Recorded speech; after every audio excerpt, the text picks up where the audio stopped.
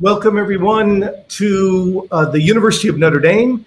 Uh, this is actually our third season of live chats, and this will be our first episode uh, beginning the third season. Something that began accidentally uh, as COVID uh, uh, started, and and I want to thank all of you for participating, taking time out of your busy schedules, and we've continued this because we've gotten a lot of feedback that you find it meaningful and we really appreciate uh, you participating in in these uh, live chats. It's an absolutely gorgeous day on campus. It's uh, sunny. It's in uh, the mid to high 70s, and you're beginning to feel a little buzz on campus. I walked into work today, and you can just see a bustle of uh, of activity beginning. Some cars arriving, more students walking the campus. It will begin much more robustly next week as students start to move in the band and and the RAs and others to kind of prepare uh, for students to come back. The first day of class classes will be Tuesday, um, August 23rd. They're also furiously trying to complete uh, some some minor construction projects here on campus. Uh, uh there's a new entrance to the main gate of campus, and there's expanded parking uh, that have been that's been put in by the bookstore, and a new set of bookstore basketball courts that will be received very well by our students in, in a couple of weeks. Uh, we're putting in uh, the, the, this uh, World Peace Plaza uh, that will have a new fountain uh, right next to the grotto and adjacent to St. Mary's Lake. And that's going to be beautiful when you come back uh, this fall for games. Sorin Hall has been renovated and an addition has been put onto it, which is spectacular with the old brick from Corby Hall. You cannot even tell uh, that an addition has been put on uh, with a consistency of the brick, and uh, and that has been shut down for 14 years, and that is now reopening to students. This year, Alumni Hall is offline, and those students are living uh, uh, currently in uh, in, in another dorm on campus, and and they will um, for 14 months be be redoing Alumni Hall and adding a little bit onto that. So a lot of activity on campus. Can't wait for you to be back this fall. And uh, one of the reasons why you'll be coming back will because I imagine football games. Um, a great opportunity to gather the Notre Dame family, uh, to take in a, a, wonderful football program, but more than that, uh, to walk the lake, lakes, uh, to visit the grotto, uh, to go to mass after the game, and to reconvene with members of the Notre Dame family. And to that end, who better to start off uh, these live chats than our uh, Vice President and James E. Rohr, Director of Athletics at Notre Dame, uh, Jack Swarbrick. He is beginning his 15th year as an athletic director at Notre Dame. He is the fifth longest serving athletic director at one school in the country right now. And we are very blessed and probably will rely on his formidable skills and experience more than ever in uh, in the next year or two. So we're really privileged to have him with uh, with us. He's in Chicago, joining us. He's about to go into an advisory council meeting uh, for uh, the student athlete uh, this afternoon. Jack, thanks for being with us. Hey, it's great. It's great to be with you. Thanks for that introduction. It made me feel very old. Well, you know, you've only got 20 years to go uh, to catch up with Father Ted. And uh, we'll be, you know, rolling you out uh, in a wheelchair for one of those interviews 20 years from now. Well, in my case, it's trying to catch up to Moose. Oh, what was, what was Moose's tenure? Oh, I get it wrong. It was in the 30s. It was in the 30s. Well, good luck with that. that's not hap- That's not happening.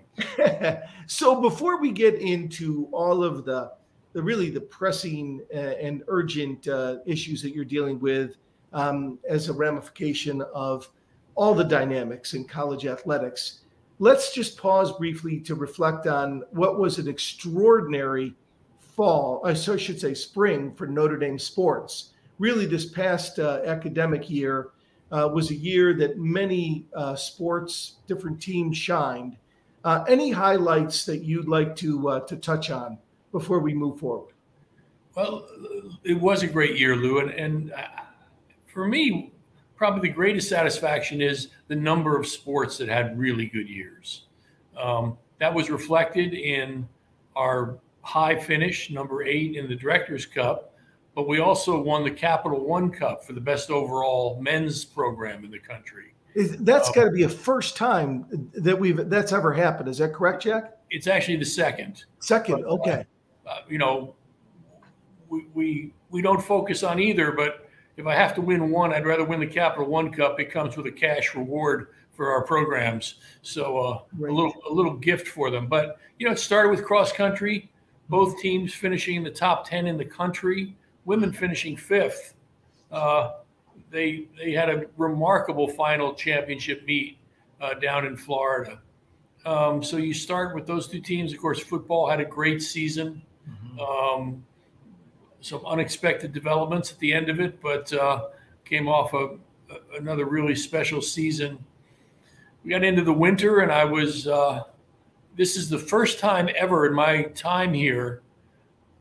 We often have all three winter sports, basket, both basketballs and hockey, qualify for the NCAA tournament. This was the first time ever, though, that none of the games overlapped. They wow. were they were all on separate days. So, not to bore your audience, but I went on consecutive days. I went from South Bend to Oklahoma City, Oklahoma City to San Diego, San Diego to Oklahoma City, Oklahoma City to San Diego, San Diego to South Bend, South Bend to New York, New York to Connecticut, Connecticut to Albany, Albany back to Connecticut, Connecticut back to Albany, and then finally home.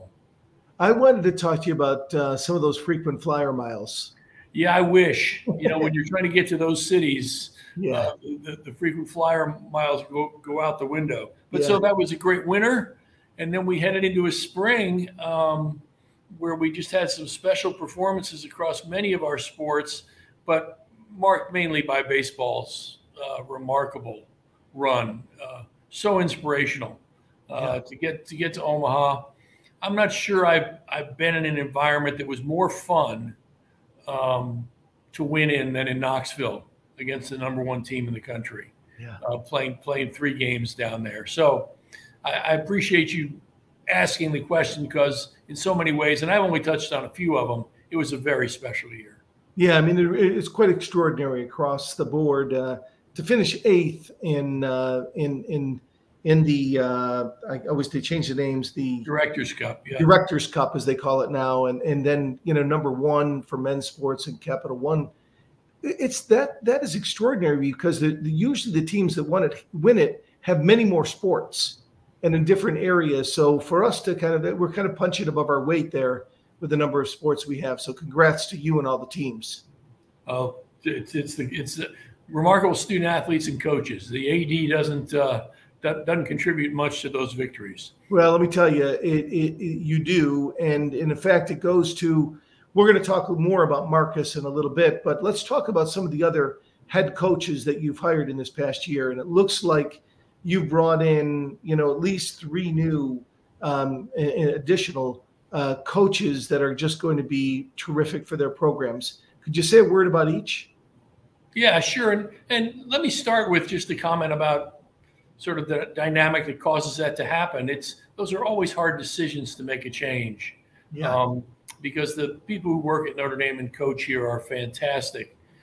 But my obligation to our student athletes is to give them a chance to maximize their success, mm-hmm. uh, both on and off the, the playing field. So you make those tough decisions when you think we can be better and, and make our commitment a, better job of meeting our commitment to our student athletes. So we had to do that across some of our sports. So let me ask you this before before we get into the specifics you know, change can happen at any minute across your 26 sports, right? And there's a lot of movement in in the coaching positions. Do you have like lists built for every sport that that if and when it happens, you have a list that you know you can go to? How, how do you prepare for this? Yeah, never. I, I, I work really hard to make sure I don't have a list. Okay. Because what I have found is each hire has its own dynamic.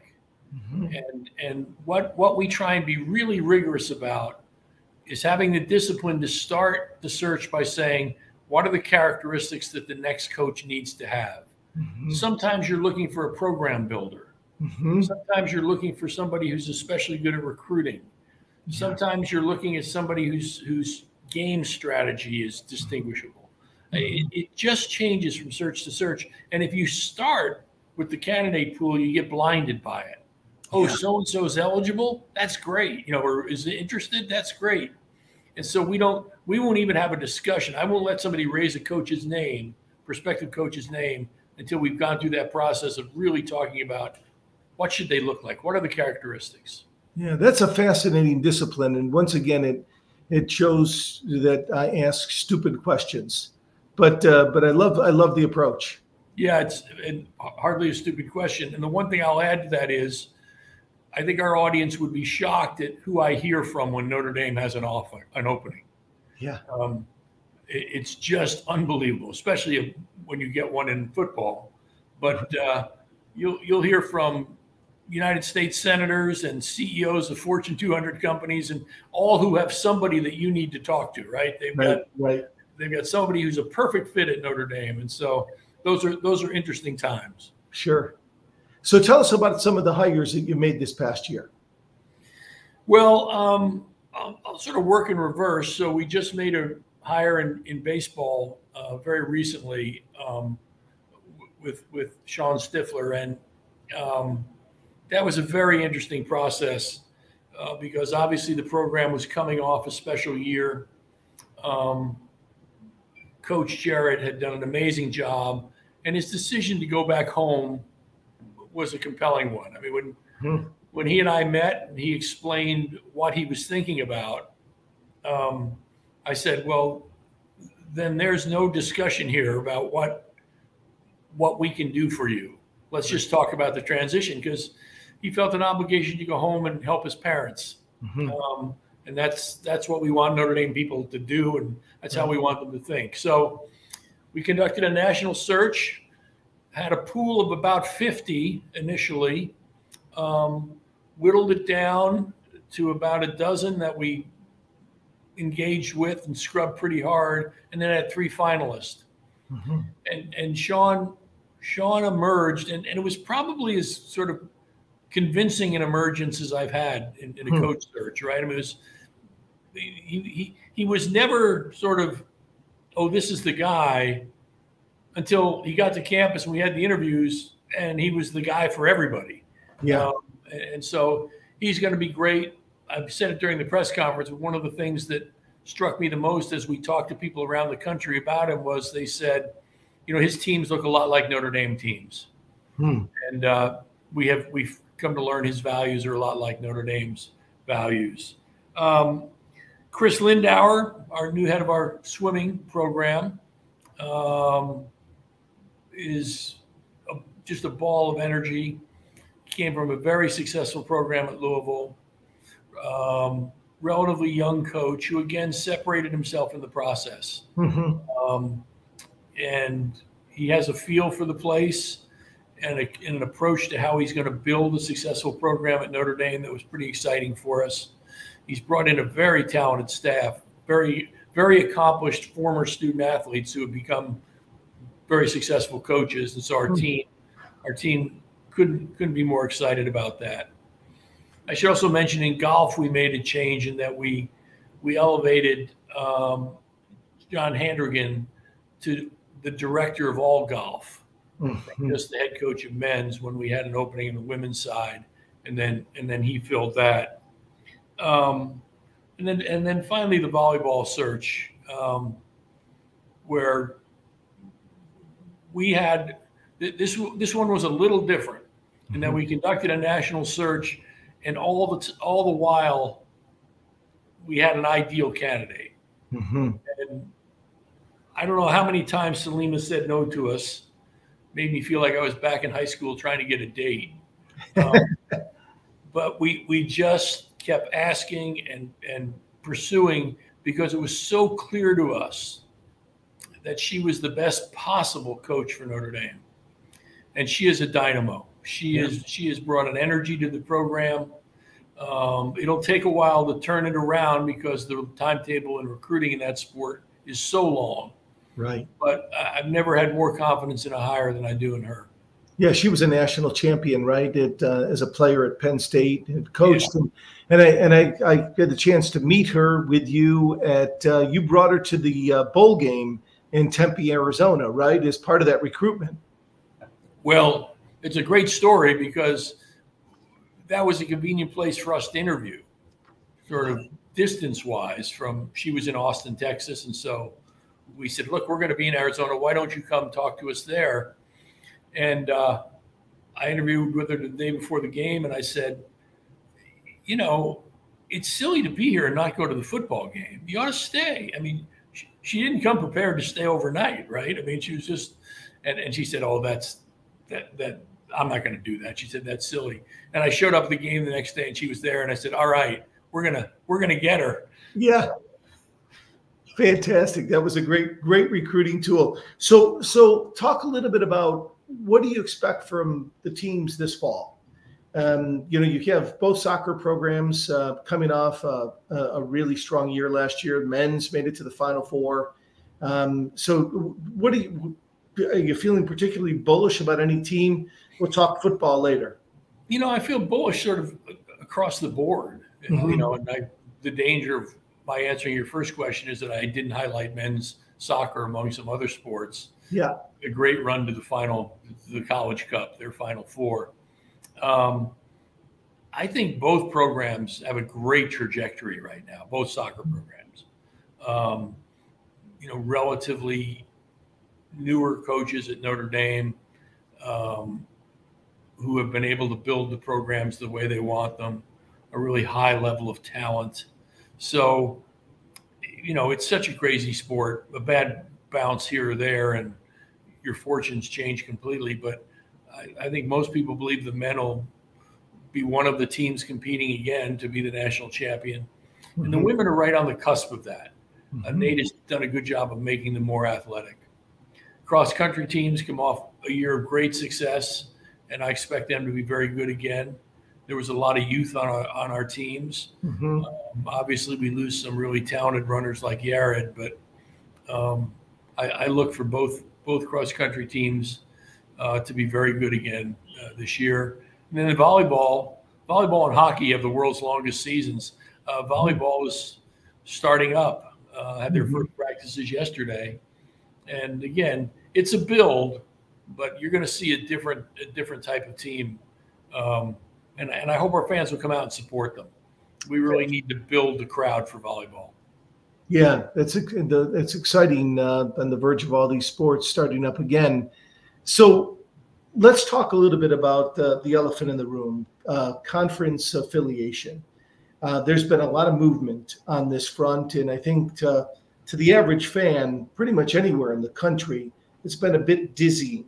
Not only what happened so swiftly and happened behind closed doors, um, major conference shifts, but what still might be happening behind closed doors, and, and when is the next shoe to to fall?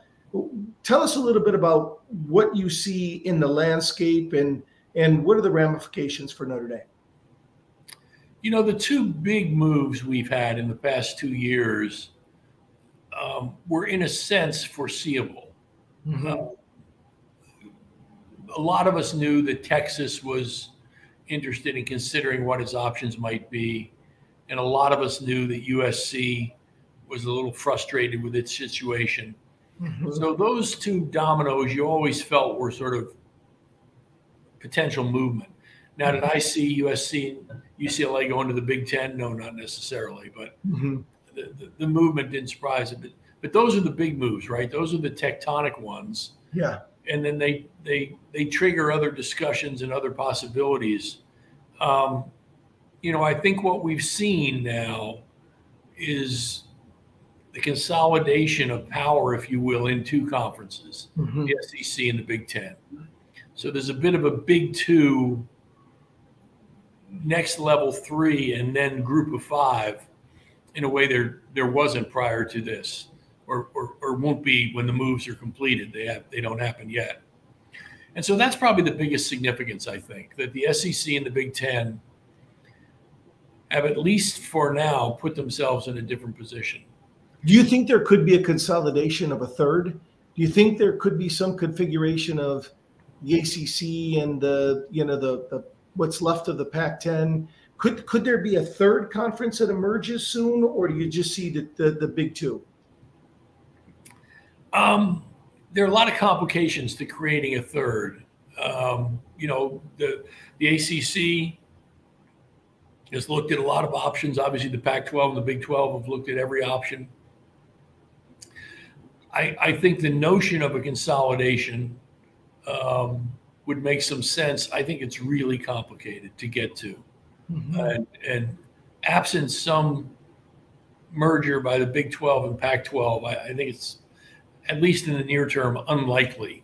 Mm-hmm. So I think the advantage and it's an advantage that sort of gets reinforced with their media deals. The advantage that the SEC and the Big Ten have built um, is probably going to going to be there for quite some time. Interesting, interesting. What are the ramifications in in you know of the conference uh, affiliation? We'll talk television and media contracts a little bit in, in, just a bit, but what are the ramifications for Notre Dame? If, do you think we've come out of this? in a stronger position given all of the discussion? Or Notre, Notre Dame seems to be in the epicenter of all these discussions. Yeah, I don't know if we're stronger, but it certainly has felt like a validation of our decision to be independent.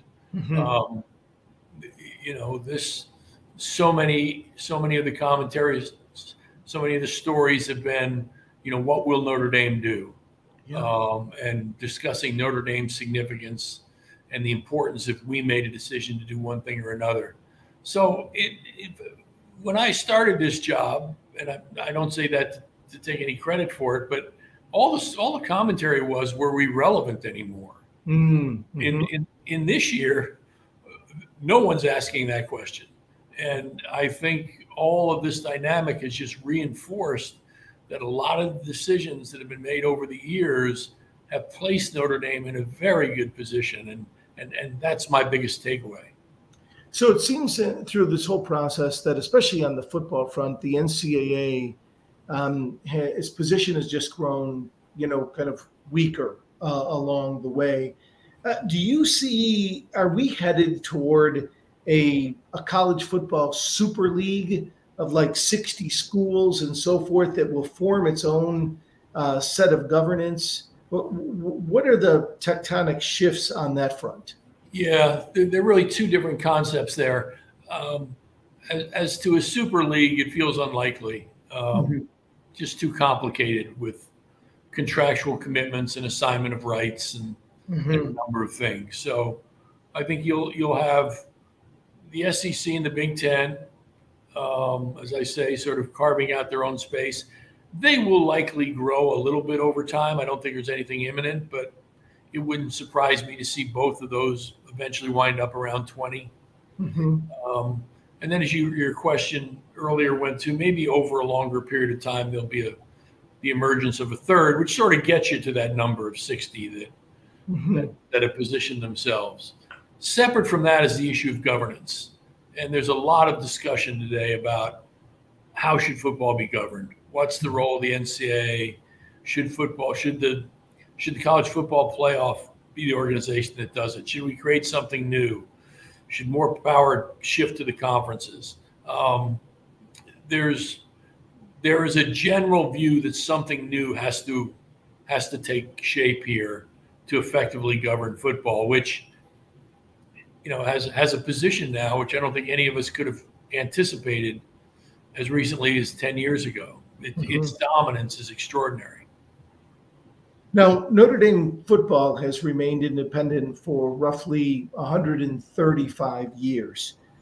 What would trigger any move for Notre Dame to kind of give up its football independence? And what what is the timeline? Uh, give us a sense of a timeline for those triggers or those decisions to be made. Yeah, um, you know, we've talked about them a fair amount. One is, do we have a committed broadcast partner who not only will carry all our games, all our home games nationally, but will uh, compensate us for our media rights in a way that allows us to be competitive. So it It starts with the question of media partner. Secondly, is our access to the college football playoff. Mm-hmm. Um, do we, as an independent, retain adequate access? I think we've proved conclusively in the past eight years that that, that we've had it. Mm-hmm. Um, both those things will play out over time. I can't predict how much time. Um, you think it's like one to two years? You know, I think the CFP will be resolved as to what's next within that time frame. Mm-hmm. Um, it's possible that the media situation could be, um, but the flip side of that is our contract runs through the 25 season.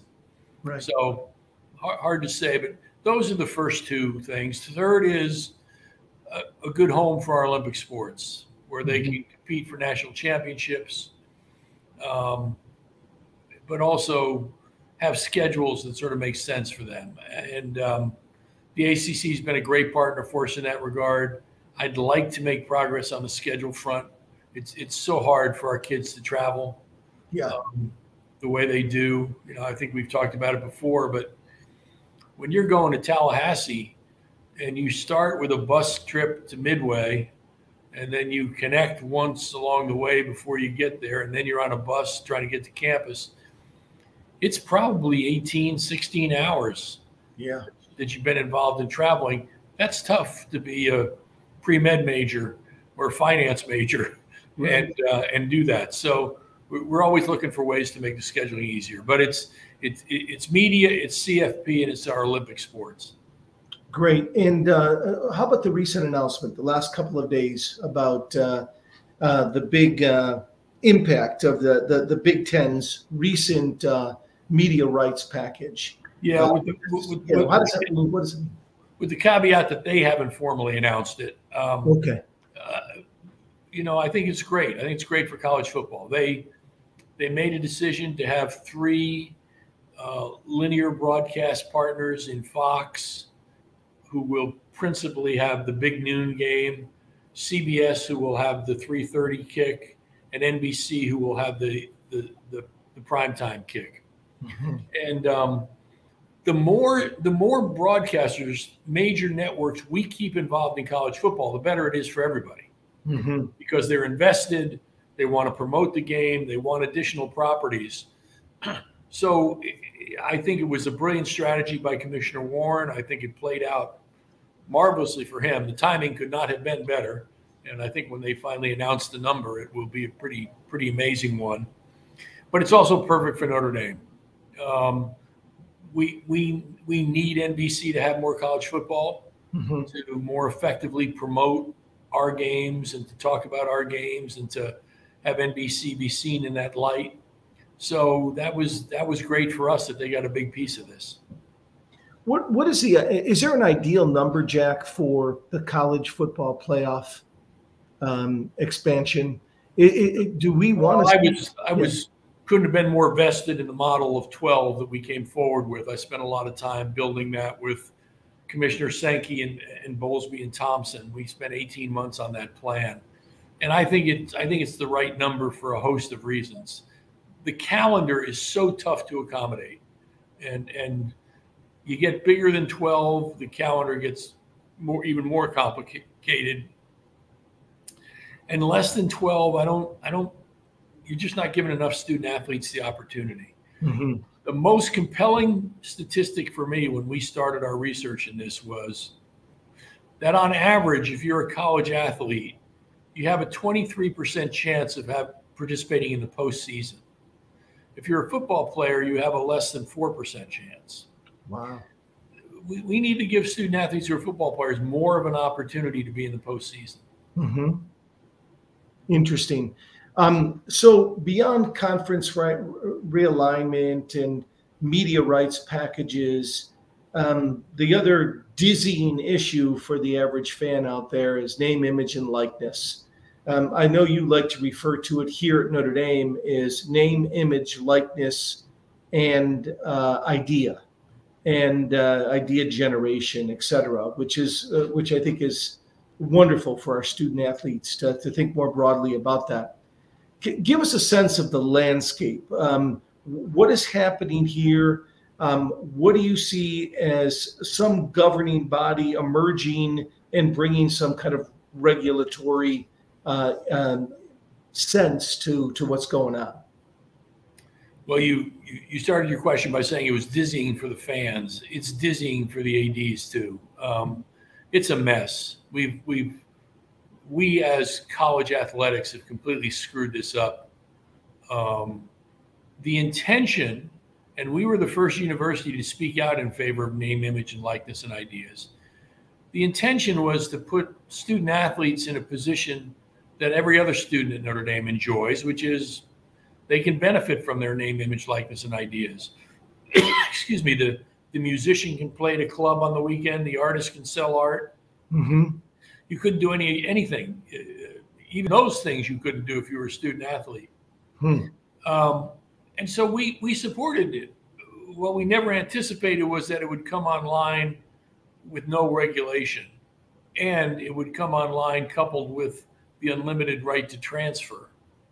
Mm-hmm. And it's cre- it's created an untenable situation, frankly, where most of what's going on under the name of name, image, and likeness has nothing to do with name, image, and likeness. They are not commercial transactions where I am rewarding you for something great you've built or the fact you've got 5 million followers on your social media website. They are talent acquisition fees mm-hmm. where I'm paying you to, to come to our school. Mm-hmm. And we have to find a way to get away from that. Mm-hmm. Um, any hope that we're any hope that we're moving in that direction? Not much. Um, it's a little hard to see a way forward where Congress isn't involved. Mm-hmm. Um, the NCAA is so gun shy about antitrust lawsuits right now for good reason. They've lost all of them. Um, mm-hmm. and, and so there's a lot of discussion with Congress, interest in Congress, but you know we all understand the challenges of getting congressional action these days. So it's tough when you're, you're probably your most promising solution is also one that's so remote. So I think we're going to have a couple more years of this absolute mess. The way we deal with it is to continue to talk about the things we've always talked about and to, to offer a very different proposition than most schools are. Um, if you're not interested in getting a great education, if you're not interested in being part of a community where you meet other students, um, if you're only interested in, you know, the, the, the transactional side of your experience, this isn't the right place for you. And we have found the more we stress that distinctive, distinctiveness, the more we talk about it, the better off we are. And, and to that end, um, Marcus Freeman has been the poster child for um, recruiting, and not only um, student athletes, but also the coaching staff. Uh, the six hires that he's made since taking over as the head football coach he's found a way to genuinely speak about Notre Dame's distinctive characteristics and the value that that can add to the lives of young people over the next uh, you know 40 60 years of their lives um, tell us a little bit i mean uh, uh the recruiting class right now uh, currently ranked number one in the nation for 2023 football recruits and also ranked number one in the nation uh, for the 2024 recruits. All the while, NIL is going on and these talent acquisition fees are there. Um, is this sustainable? Um, how is he doing this? Give us a little insight into the culture there. Well, part of it is, to be clear, we're we're supporting true NIL activity, right? So we want to create opportunities for our student athletes to benefit. Yeah. And and we're we're engaged in that. We've got a team of people working on it, but but they're true commercial activities based on real value, um, mm-hmm. and and that's good.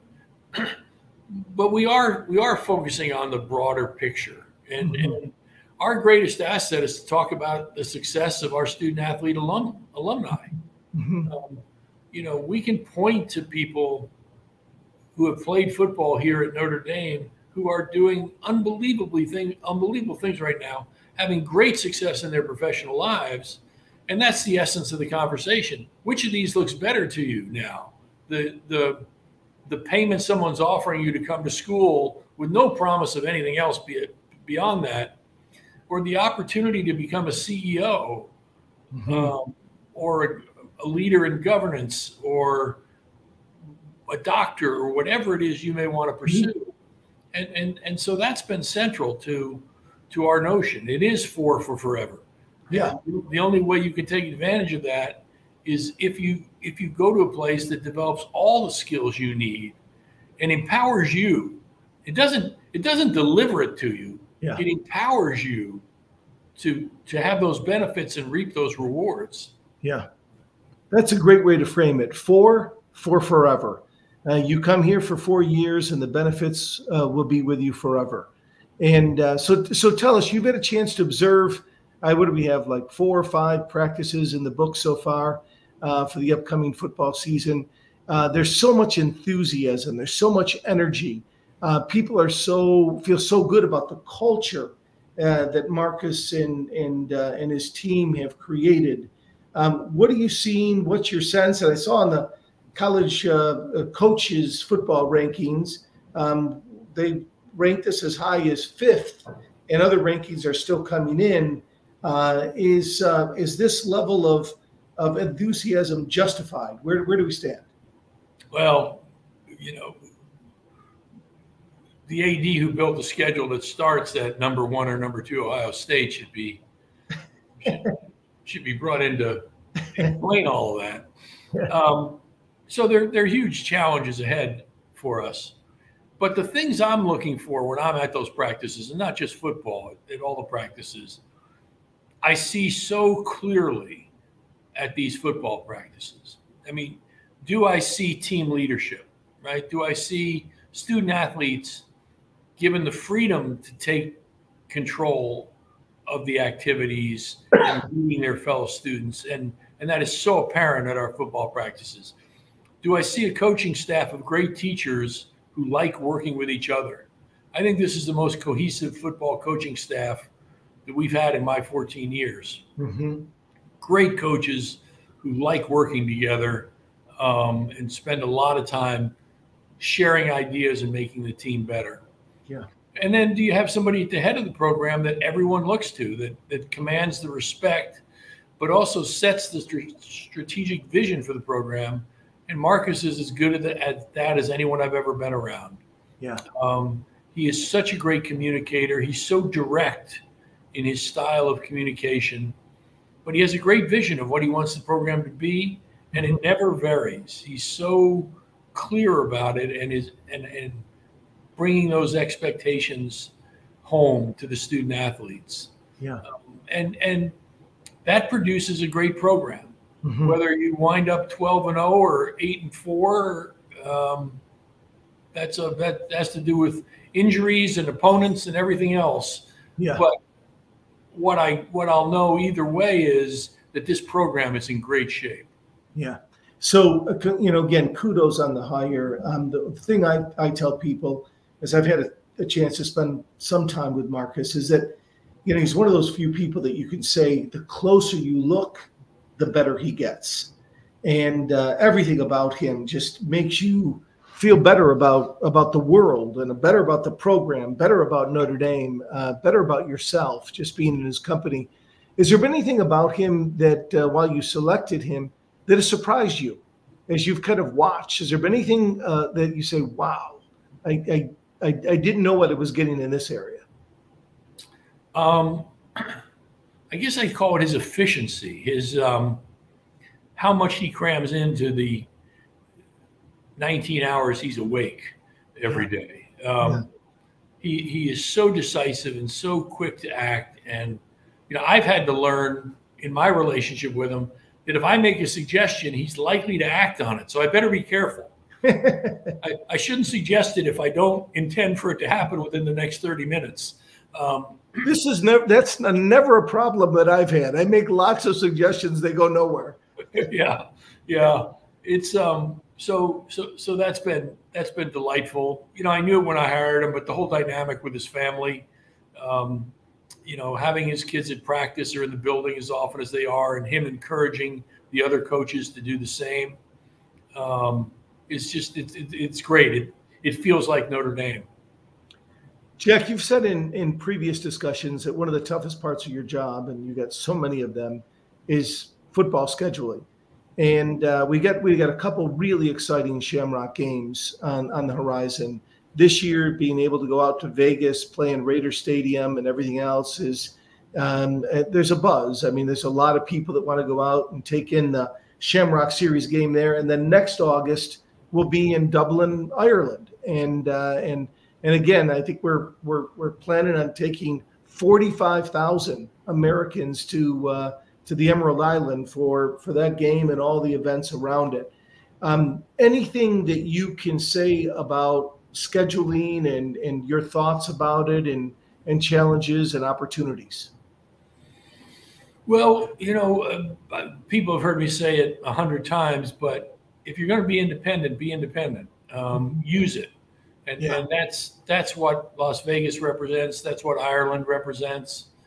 You know, I hope we can find ways to do more international games. You can only do one every few years, but it'd be great if for every student athlete who stays four years, they have one of those trips. Yeah, um, that that that would be ideal. Um, and beyond that, you a, a lot of it will be driven by my assessment of what the next version of the CFP is. Right. My hope is always that it'll be a system that places an emphasis on strength of schedule.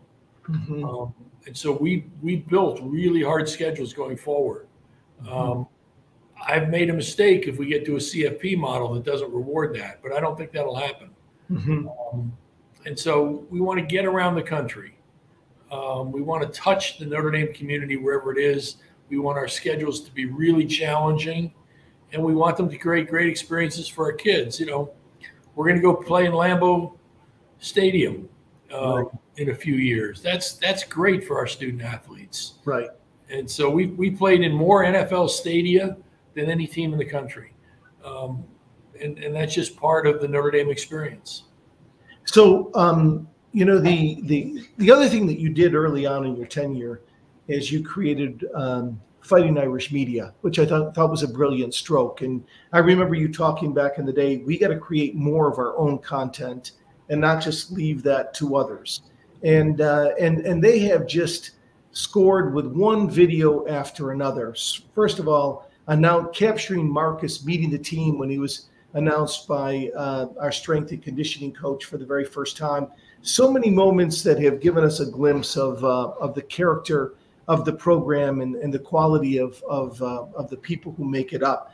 Um, but recently, with the Shamrock uh, series reveal in in Vegas, there was uh, you know that uniform reveal, uh, and and it was creative, it was fun, it was current.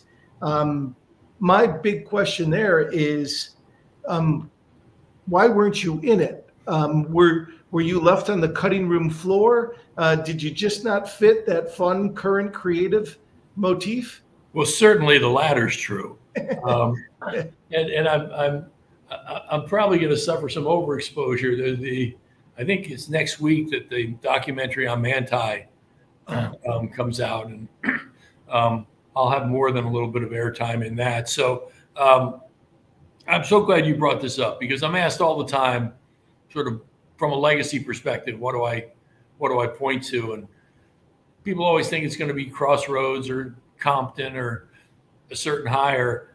It's Fighting Irish Media.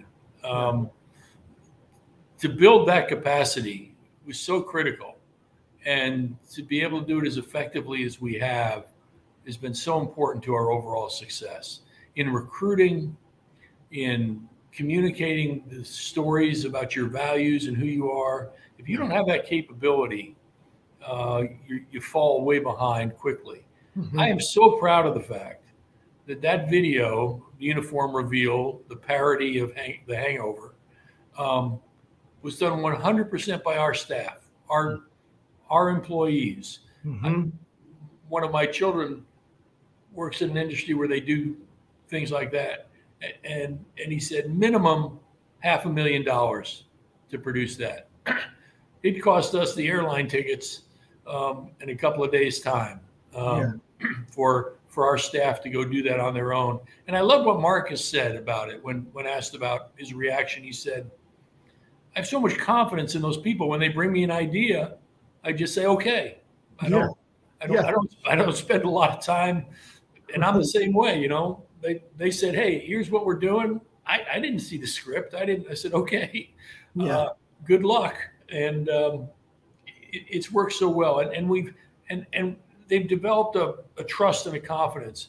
What I told them during the hiring process when we hired Marcus was film everything. Mm-hmm. Film me in my house on the phone. Film, film whatever you can. We'll figure out what we'll use later. Right. Let's film it. And everybody has enough trust in them that we can do that. Yeah. And, and so I couldn't be prouder of their efforts. That's fantastic. You mentioned, uh, you just mentioned the Manti Te'o documentary that will air in a week or so. If you that was such a a, a complex and and, and difficult uh, episode in, in, Notre Dame football history, and and it happened to such a, a wonderful human being and such an incredible team leader. Um, if you had a chance to preview the documentary, and and do you think it's going to be a fair treatment of this complex dynamic? Yeah, I have not previewed it. Um, but the reason we participated and supported it was it this is Manti's opportunity to tell his story. He this is this is being done with his cooperation and his full participation.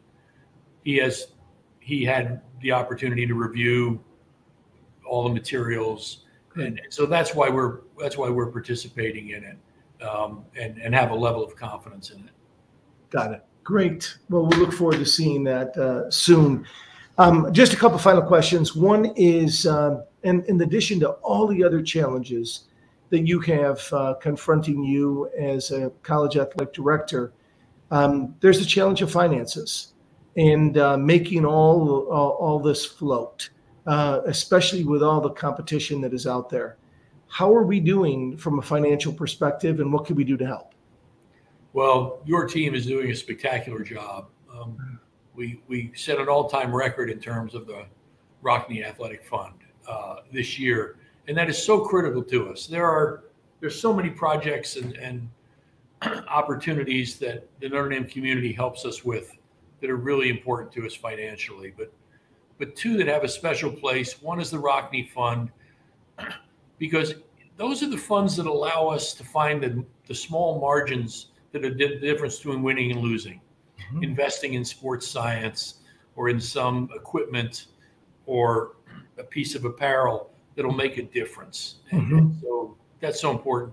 The other is endowing the scholarships and coaching positions. Mm-hmm.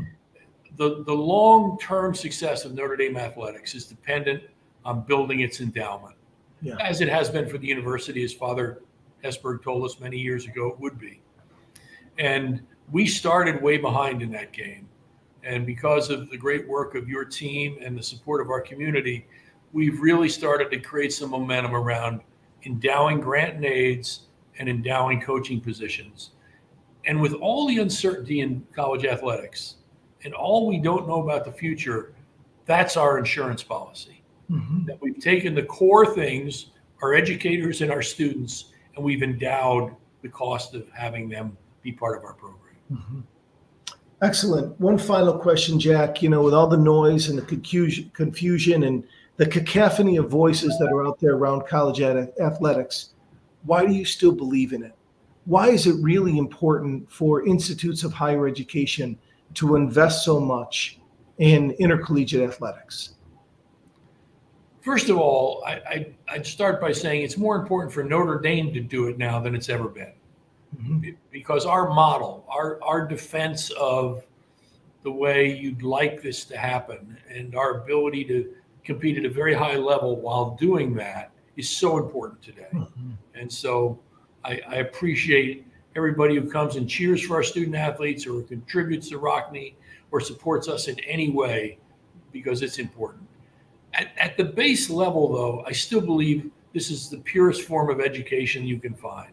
Hmm. It is a small group of students with a dedicated faculty for four to five years, working together, learning, And I've yet to have a student athlete come back to campus and visit me, and that happens a lot, who doesn't talk about the influence a coach had on their life. Mm-hmm. If, if you say to anybody who's been a student athlete at Notre Dame, who were your biggest influences? They will inevitably name the coach as the first or second influence. Mm-hmm. That's what that's what we should do. It's the same influence a rector has or a great classroom professor, but there's a special opportunity in athletics because of the length of time you spend together. Mm-hmm. And, and we have to take advantage of that. And the young men and women who have graduated from our athletic programs and gone on to do things that have changed the world are the evidence that proves it. Yeah, fantastic. Well, listen, it's always uh, a pure delight to talk with you. I really appreciate it because there's no questions that you will dodge. You talk about everything, you take it right on, and I, I'm really appreciate it, and and we are grateful for your now going into your 15th year of leadership of Notre Dame athletics. We're going to need uh, your wisdom and aptitude more than ever, I think, in the next uh, next couple of years. Um, so thank you, Jack. Uh, please join us next Wednesday, same time, noon. We're going to meet with our new provost, uh, John McGreevy. Uh, some of you know him, but you're going to get to hear from him the first time in this new role as our chief academic officer. And we'll, we'll look forward to being with you next week on Wednesday. And as we always do, uh, please join me and we'll conclude our time together with a prayer to Our Lady, uh, the, the, um, the figure that, that that illumines and, and, and guides everything that we do here at this university. Hail Mary, full of grace, the Lord is with thee. Blessed art thou among women, and blessed is the fruit of thy womb, Jesus. Holy Mary, Mother of God, pray for us sinners, now and at the hour of our death. Amen. Take care. God bless, and go Irish. Thanks, Thanks.